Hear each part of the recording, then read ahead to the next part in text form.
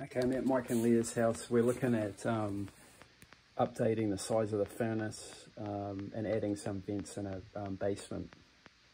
Um, so right now we're in a utility room. It is a walkout. Uh, you can see the high efficiency furnace that's in here right now. It's actually a Seaward furnace, 100,000 BTU. We're going to bump it up to um, 120. Looks like they got a five ton coil here at the same time.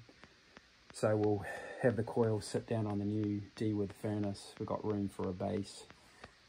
We've got some room on the right side. So uh, return drop size right, so furnace on a base and then uh, reconnect it to the um, A coil. Have to put the um, AC under a vacuum at the same time. See the drain close by.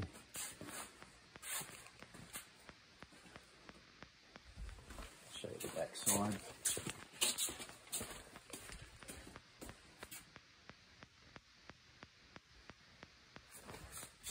And the access, you can see there's a slider to get in and out. So as far as um, adding vents are concerned, um, we come out, we've got like a main kind of living area. Right now there's just two vents um, for this room. We want to add another two to the outside wall.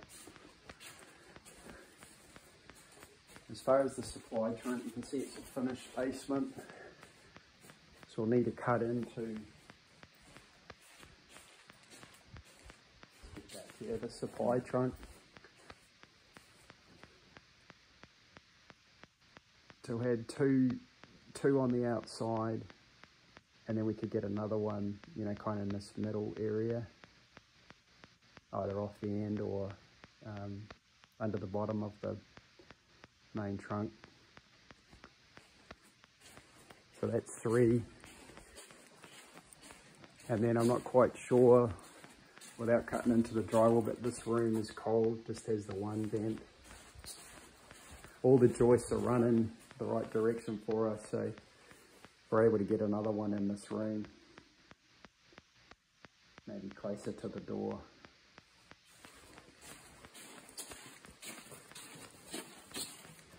Um, so that would be ideal, an extra four. This pool area, I'm just not sure how to get across here.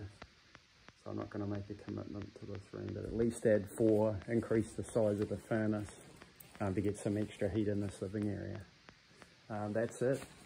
There is a return that was cut in just underneath the bottom of the bar.